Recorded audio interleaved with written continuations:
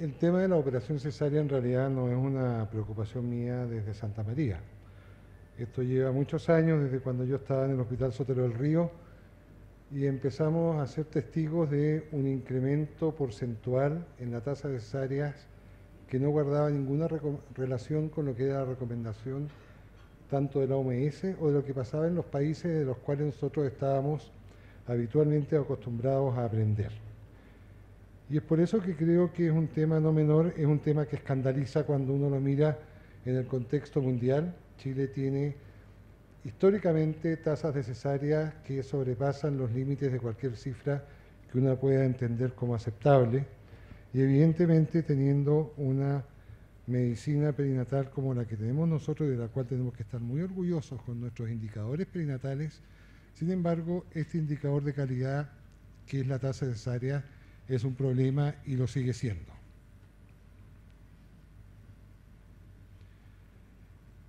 Esto es para que tengan idea de el número de pacientes de los cuales estamos haciendo un análisis. Esto corresponde a un quinquenio y es un total de 15.000 partos, por lo tanto, la evaluación que podamos hacer en términos porcentuales es bastante confiable. Acá lo que les muestro es cómo se distribuyen en, la institución que yo dirijo los partos según edad gestacional, no hay ninguna sorpresa al respecto y si ustedes se fijan, lo que corresponde, este es el, perdón, este es el crecimiento en un quinquenio y este crecimiento tampoco guarda relación con el crecimiento de ninguna de las maternidades nacionales. Yo tengo un enorme crecimiento en esta institución en el número de partos y probablemente la explicación a eso tiene que ver con el progresivo interés con mujeres que escogen a la institución dado el perfil del eventual parto que vayan a sostener. O sea, la intencionalidad de un parto vaginal tiene además un comportamiento que no es el objetivo, pero tiene un impacto de marketing positivo que no deja de ser interesante.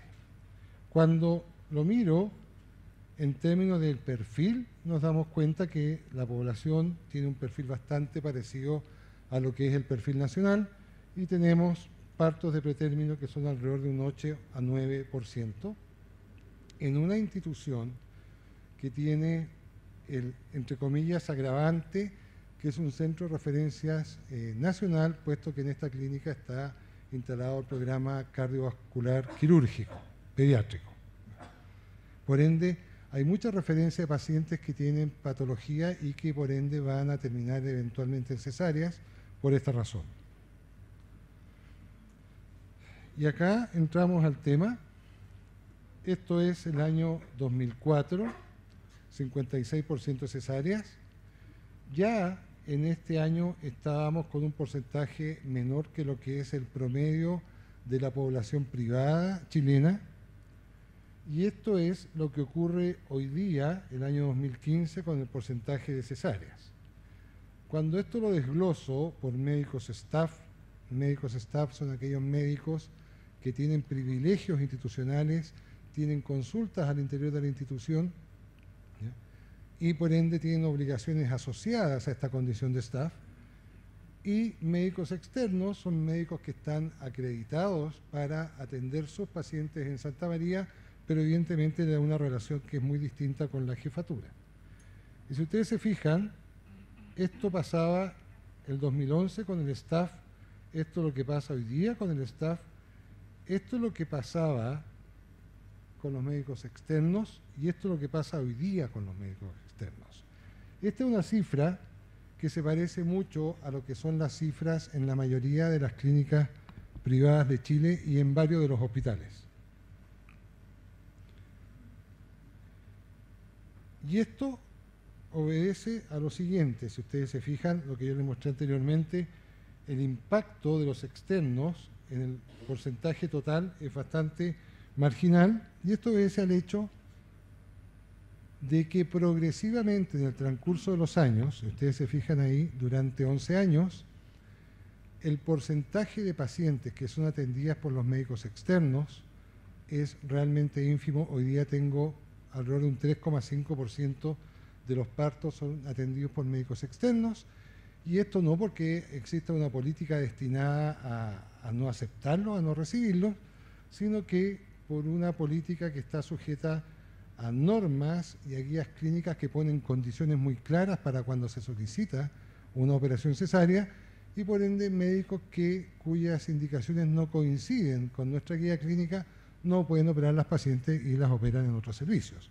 Y esto ha ido produciendo una marginación espontánea de muchos médicos externos que antes iban a Santa María y cuyas tasas de cesárea podían alcanzar incluso hasta el 100% de las veces. ¿Qué ocurre con las cesáreas electivas? Progresivamente las cesáreas electivas van disminuyendo.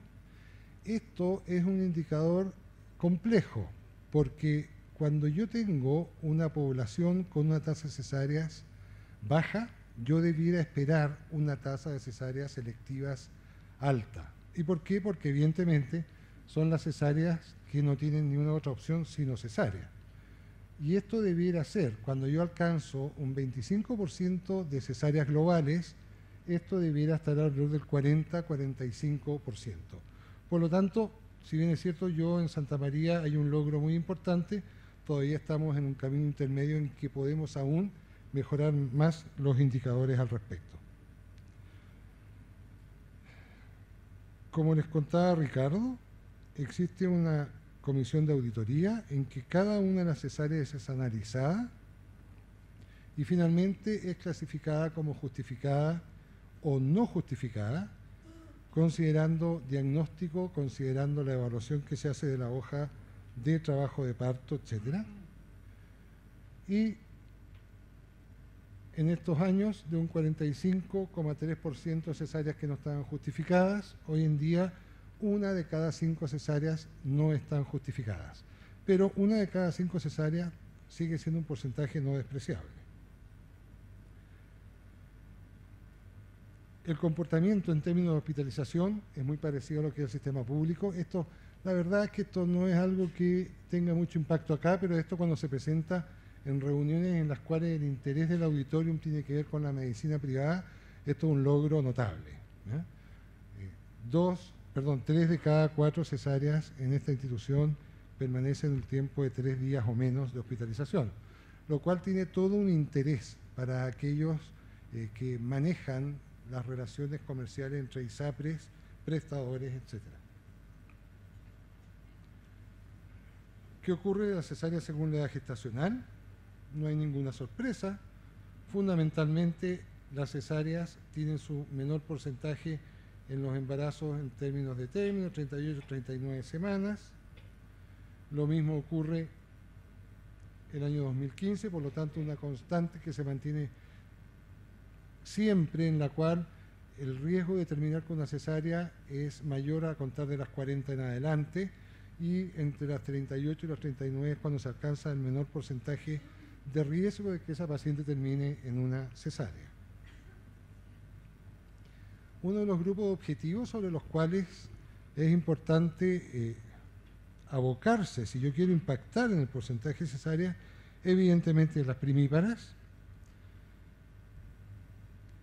La población de primíparas en esta institución es de, la mitad, lo cual es un agravante, porque la primípara es un grupo más complejo de manejar en términos de eh, la resolución de parto. esta es nuestra población, es un poco mayor que lo que es el perfil poblacional de mujeres embarazadas país. Y aquí está el porcentaje de cesáreas en primíparas, y ustedes ven el impacto importante que hay. Miren lo que ocurre acá, esto es muy llamativo, y esto es única y exclusivamente por la indicación que se acepta como diagnóstico cuando se solicita un pabellón de cesáreas. Y hoy en día, esta es la tasa de cesáreas del staff en primípara, una de cada cuatro mujeres primípara igual termina en cesárea, lo cual para nosotros es muy bueno, pero ojo, sigue siendo un porcentaje muy alto para lo que es la recomendación internacional. ¿Qué pasa con las cesáreas que no están justificadas? Y si ustedes se fijan, una de cada cuatro cesáreas en mujeres primíparas no están justificadas el año 2015, lo cual todavía nos deja un trecho importante sobre el cual trabajar en lo que es acuciosidad y rigurosidad diagnóstica y cumplimiento de guías clínicas que están claramente predefinidas. ¿Por qué se operan las mujeres primíparas? Una de cada cinco cesáreas van a ser por cuadro de sufrimiento fetal agudo en trabajo parto, luego vienen las presentaciones podálicas y el resto están asociadas fundamentalmente a inducciones fracasadas, distosia del trabajo de parto, y otras son varias. Quiero mostrarles algo que es un argumento que se usa mucho cuando a los médicos le preguntan en diferentes instancias, incluidos los medios, de por qué en Chile es tan alta la tasa de cesáreas. Y uno de los argumentos más utilizados por muchos de los médicos que son entrevistados es que la mujer chilena prefiere la cesárea. Este es el porcentaje de solicitud materna. la mujer chilena no es verdad que prefiere la cesárea, ni en el público ni en el privado. Este es el porcentaje de cesáreas electivas. La cesárea electiva en primigesta o en primíparas no debe superar al 5 a 10%. ¿Y por qué? Porque son pocos los diagnósticos que justifican una cesárea electiva en primípara, podálicas, placentas previas y uno que otro más, pero eso no debiera ser más allá de un 10%, y la cesárea en primíparas debiera ser la enorme mayoría de ellas en trabajo de parto. Los diagnósticos en la mitad de los casos corresponde a la podálica. El rechazo materno, el año 2013, 10% de las mujeres estaban operando por rechazo al parto y se estaban operando en forma electiva. Esta es una situación a mí parecer escandalosa y por ende hicimos una revisión de lo que son normativas internacionales al respecto y implementamos la evaluación psiquiátrica de una mujer que solicita cesárea porque consideramos que una mujer tiene que tener algún trauma muy importante con relación al parto para pretender tener una cesárea en vez de un parto vaginal, entendiendo que se le han entregado toda la información respecto a la diferencia que hay entre parto y cesárea, tanto desde el punto de vista quirúrgico como los beneficios perinatales. Y si ustedes se fijan, bastó esa estrategia para de un 10% caer a un 1% al año siguiente. Y el resto son una serie de patologías que van a explicar las causas por las cuales estas pacientes son sometidas a una cesárea. El otro grupo objetivo a trabajar cuando yo quiero impactar en esto son las mujeres que tienen antecedentes de una cicatriz de cesárea. Esta es la población en Santa María. Si ustedes se fijan, una población bastante estable e incluso con una tendencia a la disminución, las mujeres con antecedentes de una cicatriz. Y las mujeres que tienen dos o más cicatrices son este porcentaje, igualmente muy estable. Ahora, esto no llama la atención, ¿por qué? Porque esto está directamente asociado a cuál es el promedio de hijos que tienen las parejas en Chile. Y la probabilidad de encontrarnos con una mujer más allá de tres cesáreas es muy baja. 2011, 96% de las mujeres con una cesárea terminaban en cesárea. 90% terminaban en cesárea el 2013. Esto es más o menos parecido a lo que ocurre en la mayoría de las clínicas privadas de Santiago y del país.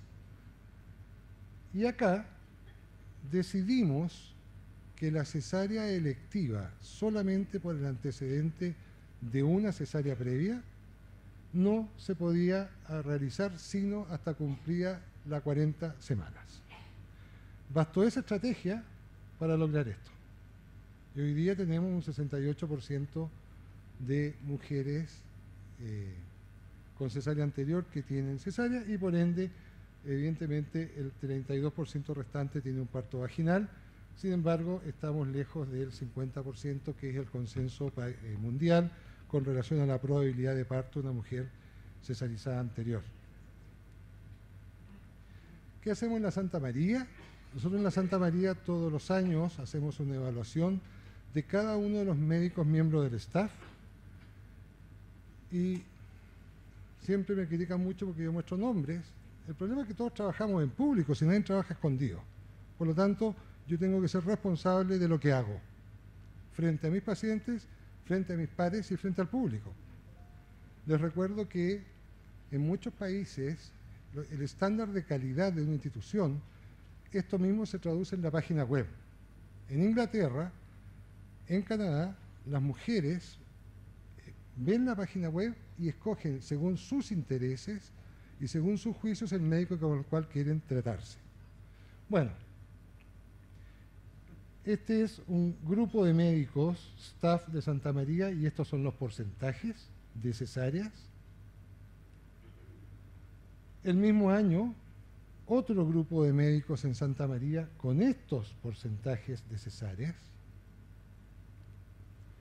Este grupo, 38% de los partos.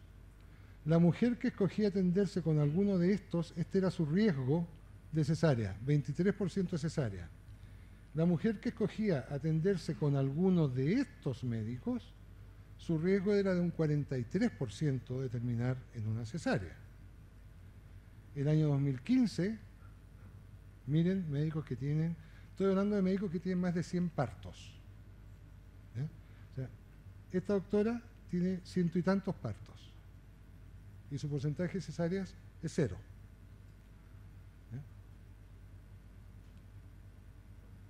Y acá está el año 2015, los que se nos portan más mal, y los porcentajes tienen que ver con esto. El año 2015, el que la mujer que se atendía en este grupo tenía un 19%, la mujer que se atendía en este otro grupo tenía un 40% del riesgo de cesárea. Esto no puede ser. O sea, a pesar que esta es una institución que va muchísimo más adelante que la mayoría de las instituciones privadas chilenas, sin embargo todavía estamos enfrentados a una situación que es absolutamente irregular en que hay una cantidad de médicos que no están comportándose acorde a lo que es la buena práctica clínica, que no es otra cosa, la guía clínica nuestra no es sino esto lo que hay que hacer porque esto es lo que está demostrado que es benéfico. Por ende, ¿cuáles son las estrategias utilizadas para este fin? Yo creo que es fundamental un staff médico controlado. Yo no entiendo que hayan hospitales públicos en Chile que tengan tasas de cesáreas tan elevadas porque esto es el equivalente. El equivalente a tener médicos contratados, turnos 24 horas, residentes controlados en los cuales hay toda una gestión de control clínico sobre este quehacer. El staff médico controlado es un beneficio para las mujeres, Deben existir guías clínicas claras, precisas. Esto es lo que corresponde hacer. Y si usted no lo hace acorde a esto, tiene que justificarlo, doctor. El comité de auditoría es fundamental, un comité de pares. Son los pares los que juzgan si la conducta clínica de un determinado médico está sujeta a la buena práctica clínica o a la guía clínica que está institucionalizada. Y finalmente el análisis anual. O sea, todos tenemos que saber cómo nos estamos evaluando o cómo nos está evaluando la institución, el hospital, en el caso del sistema, el ministerio cuando es una cuestión macro, etc. Y eso es.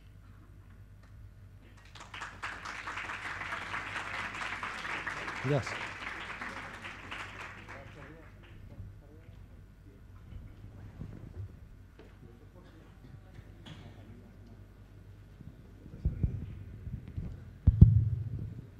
Iván, no te vayas tan rápido porque tenemos dos preguntas. Eh, hay varios Gómez en la clínica. ¿eh? El doctor Jorge Becker quiere hacer una pregunta. Doctor Rojas, eh, en realidad, uy, ahí, no, no es una pregunta, es que me ha impresionado, realmente me ha impactado la cifra que usted ha presentado eh, me imagino que la forma de lograrlo es la misma forma como se hizo en el Sótero, donde en algún minuto alguno nos cayó un poco mal, eh, que fuéramos evaluados públicamente, pero al final lo que uno busca es el bien de las pacientes, ¿no? Y claramente se ve que la forma como se hacía el Sótero se puede replicar en el sistema privado, teniendo una cifra impactantemente baja de cesáreas para lo que es en Chile. Lo, realmente un trabajo extraordinario, eh, que me parece espectacular, hablando muy en serio. Gracias, Jorge. ¿Más preguntas? Aquí.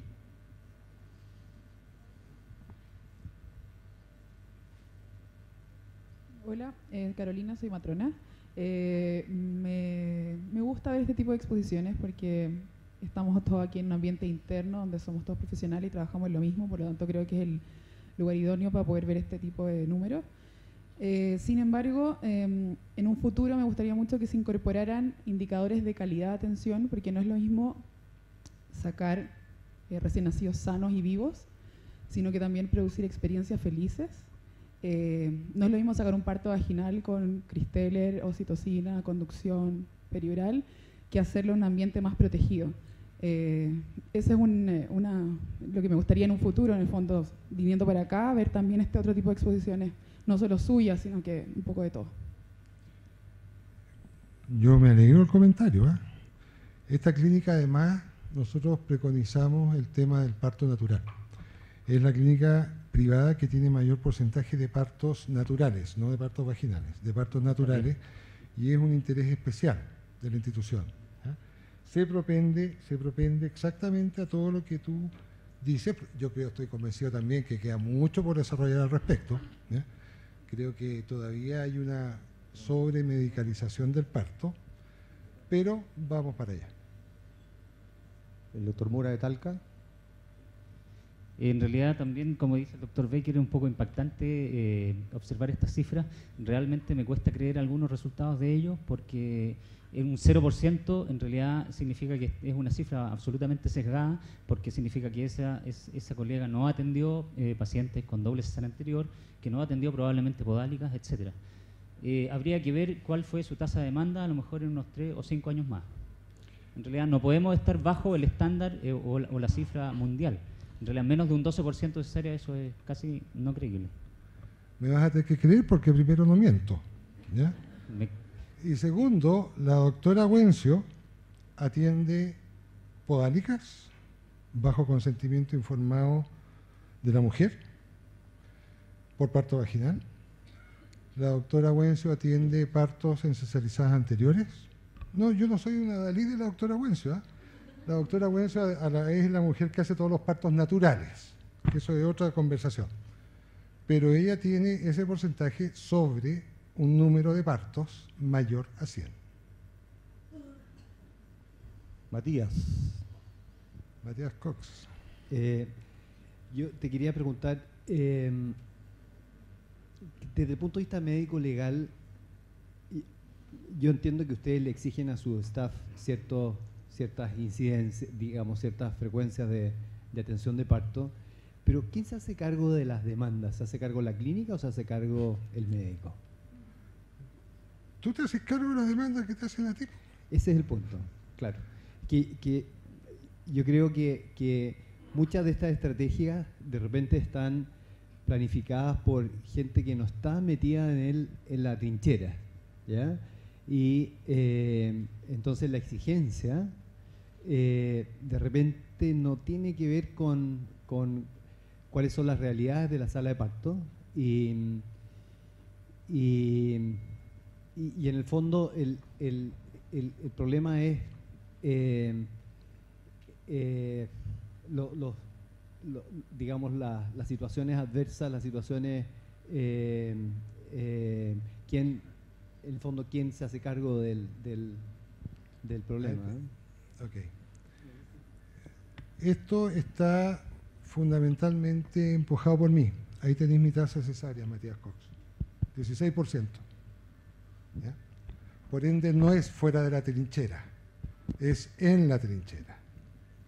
Dos, no debes actuar en base al riesgo médico legal tú tienes que actuar de acuerdo a lo que la práctica clínica y la evidencia médica recomienda que es lo mejor. Acá las cesáreas justificadas son absolutamente validadas y apoyadas, evidentemente. Por ende, este no es un tema de riesgo médico legal, este es un tema de hacer lo que corresponde. Y en la medida que tú hagas lo que corresponde, y tuvieras eventualmente un resultado adverso y esta, tienes un riesgo médico legal, no te van a ganar esa demanda. Eso te lo aseguro. Y el riesgo médico legal lo asumes tú como médico. O sea, no podemos evitar o tratar de que alguien más asuma el riesgo por lo que es mi acción médica. Yo soy el que decido operar. Hoy día existen en Santiago demandas por cesáreas de más. Y ese médico no tiene defensa. No tiene defensa porque la cesárea claramente, por expertos evaluados o solicitadas su evaluación en ese juicio, dicen se operó por la cura. Iván, en ese sentido, la clínica este año, por ejemplo, ¿tiene alguna demanda en la que la exclusiva, la, exclusiva eh, razón sea que no se hizo una cesárea? No. Gracias. No. La última demanda porque no se hizo una cesárea con un resultado adverso hace cinco años. ¿Aló? No se puede. No tengo. Gracias. ¿Aló? Em, bueno, yo agradezco profundamente estar en, esta, en este gran curso eh, y quisiera agregar un comentario. Eh, evidentemente estamos en una exposición eminentemente de médicos. Sin embargo, eh, hemos olvidado cuando estamos en una exposición de médicos que para lograr un índice de cesáreas tan bajos hay detrás muchas matronas que son las que están conduciendo los trabajos de parto, que son las que están llevando los partos naturales, porque yo puedo ser un médico que tengo un bajo índice de cesárea y me dedico a parto natural, pero quien realmente llevó a esa paciente a un estado de fisiología, de introspección y de valoración de su condición natural a un resultado óptimo como se esperaba, es una matrona. De manera que yo eh, quiero destacar, en este momento soy matrona, evidentemente, pero quiero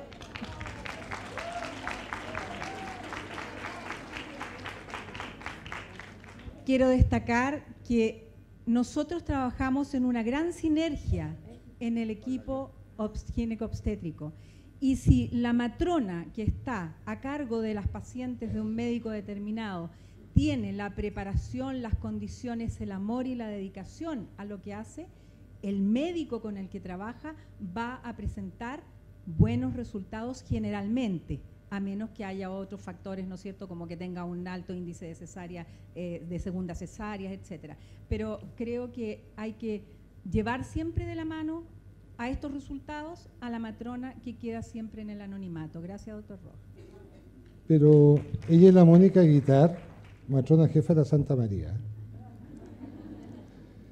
Y yo lo que quiero hacer es un comentario agregado a lo que está hablando la Mónica Guitar, pero acá nadie ha dicho nada de no valorar a las matronas. Somos puros ginecobstetros y matronas los que hay acá. Cada uno sabe cuánto pesa la matrona en nosotros. Entonces, ¿por qué tenemos que andarlo repitiendo? O sea, yo sé perfectamente que sin mi matrona soy nada. Eso es un hecho, y eso lo sabemos todos, matronas y médicos. Como también sé que hay matronas que inducen cesáreas. Hay matronas que obligan a los médicos a operar cesáreas. Por eso es una cosa que acá estamos entre gitanos, así que... Tenemos a, otro... La última pregunta por Jaime. Jaime, ¿sigues en Calama? En, Calamantofa. Eh, Iván, gusto saludarte. Eh, un poco compartiendo quizás la reflexión de Matías. ¿Qué ocurre en un escenario en que haya un evento adverso en una parto podálica, considerando el, estado médico de conocimiento actual en relación a que se valida, desde el punto de vista internacional, en mucha literatura, la atención de parto por cesárea, siendo algo muy cuestionable, puesto que un parto podálica con ciertas condiciones como los dos recibimos entrenamiento de maestros, eh, puede ser un parto seguro. Pero en el escenario actual médico-legal, yo entiendo que es difícil, frente a un evento adverso, respaldar la asistencia de un parto podálica vaginal. Yo estoy muy de acuerdo con eso, ¿eh? muy de acuerdo con lo que estás diciendo tú, por eso que es una excepción.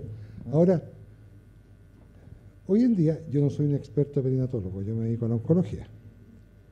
Pero hoy en día la evidencia para recomendar el parto podálico ya no es tan fuerte como lo fue hace cinco años. Hay todo un replanteamiento y una nueva postura, un, tanto devolviendo el péndulo del parto podálico.